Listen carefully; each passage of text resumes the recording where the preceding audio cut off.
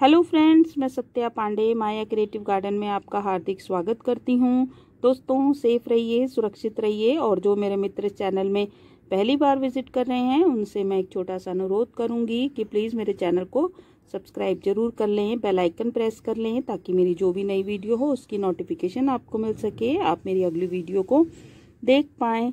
दोस्तों, ये देख रहे हैं आप, ये है सरसों की खली और ये है वर्मी कंपोस्ट आज हम जो है सरसों की खली और वर्मी कंपोस्ट से एक बहुत अच्छा फर्टिलाइज़र तैयार करने जा रहे हैं। ये जो सरसों की खली है, ये आपने देखा होगा, जो सरसों होती है, उसमें से जो तेल निकालने के बाद जो मटेरियल बच जाता है, उसे हम सरसों की खली कहते हैं।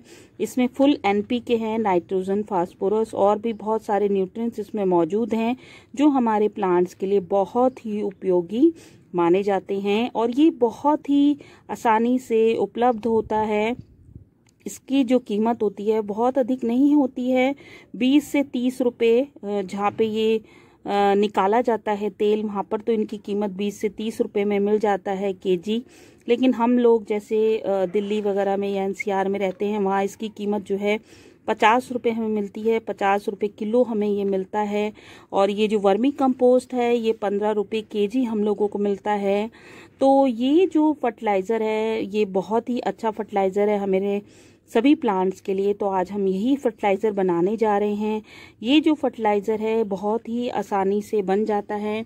ये करीबन मैंने 100 ग्राम के करीबन जो है, ये सरसों की खली ली हुई है और ये 100 ग्राम के करीबन मैंने जो है वर्मी कंपोस्ट लिया हुआ है और ये इस तरह से पाउडर फॉर्म में भी आता है सरसों की खली। और ये जो सरसों की खली है, ये हम जो है, ये पाँच से छः लीटर की जो बाल्टी होती है, वो ली हुई है मैंने। और इसमें आप देखिए कितना मैंने पानी लिया हुआ है। इसे जो है, अब ये जो सौ सरसों खली है, इसे हम डाल देंगे इसमें। ये देखिए, और ये जो 100 ग्राम के करीबन मैंने वर्मी कंपोस्ट लिया है, ये भी हम इसमें डाल देंगे इस तरीके से। और डालने के बाद जो है, इसे हम बहुत अच्छे से एक डंडी की सहायता से इस तरह हमें इसे बहुत अच्छे से हिलाना है और एक हफ़्ते के लिए जो है हमें इसे छाया वाली जगह पे रख देना है ढककर। और बीच बीच में दिन में एक बार जो है, एक से दो बार इसे डंडी की सहायता से इस तरह हमें हिलाना है। और उसके बाद जो है इसको जो है डाइल्यूट करके हमें देना है। जैसे कि अगर 20 लीटर के करीबन जो है नॉर्मल पानी इसमें मिलाना है और ये सभी प्लांट्स में हम दे सकते हैं।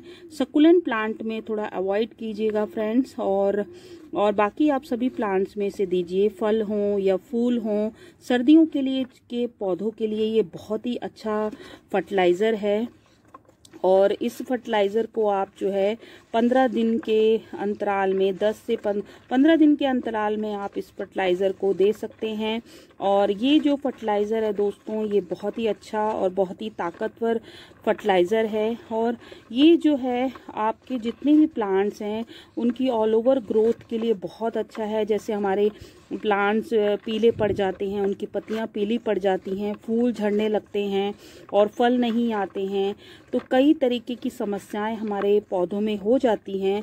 तो ये जो फर्टिलाइज़र है, वो उन सारी समस्याओं को ख़त्म कर देता है दोस्तों।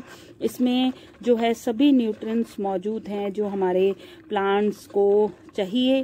और ये जो है लिक्विड फर्टिलाइज़र फॉर्म में जो हम किसी भी प्रकार के प्लांट को देते हैं तो वो जल्दी इसे ग्रहण करता है, यानी कि उसे जल्दी लेता है। अगर हम इसे लेता है, लेकिन लिक्विड फर्टिलाइज़र जो है, बहुत ही अच्छी जल्दी से उसे ग्रहण कर लेता है। तो इसीलिए जो है लिक्विड फर्टिलाइज़र जो है हमारे प्लांट्स के लिए बहुत फ़ायदेमंद है। तो ज़्यादातर जो प्लांट्स होते हैं, वो जो है उनकी अगर ग्रोथ रुक जाती है तो ये प्लांट्स आप दीजिए प्लांट्स को ये फर्टिलाइज़र तो इससे जो हमारे प्लांट्स की ग्रोथ बहुत अच्छी होगी। और ये जो है, ये बहुत ही आसानी से उपलब्ध भी होता है।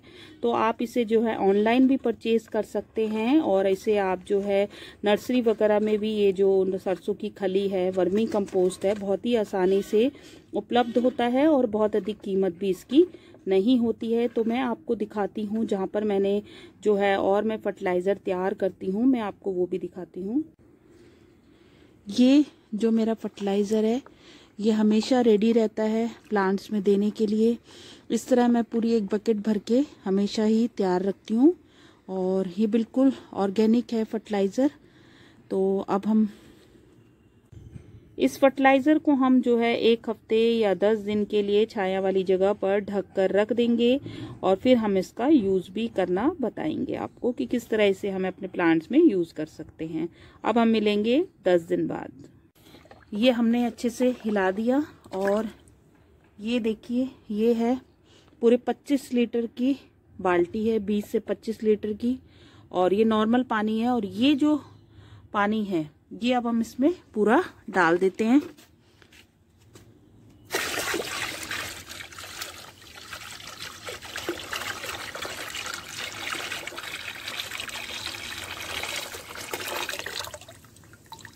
ये हमने इसमें पूरा डाल दिया है।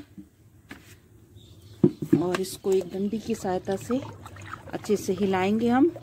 तो ये हमारे 30 लीटर के करीबन लिक्विड फर्टिलाइज़र तैयार है।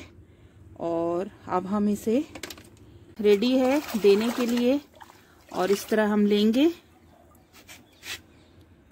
ये फर्टिलाइज़र तैयार है प्लांट्स में देने के लिए और इस तरह मैं अपने पिटोनिया के जो मेरे प्लांट्स हैं, उनमें दे रही हूँ। इस प्रकार और अपने सभी प्लांट्स को दीजिए। तो ये थी मेरी एक छोटी सी जानकारी फ्रेंड्स अगर ये जानकारी आज अच्छी लगी हो लिक्विड फर्टिलाइज़र को लेके तो प्लीज़ लाइक शेयर सब्सक्राइब ज़रूर कर दीजिएगा. बाय फ्रेंड्स हैप्पी गार्डनिंग फिर मिलते हैं।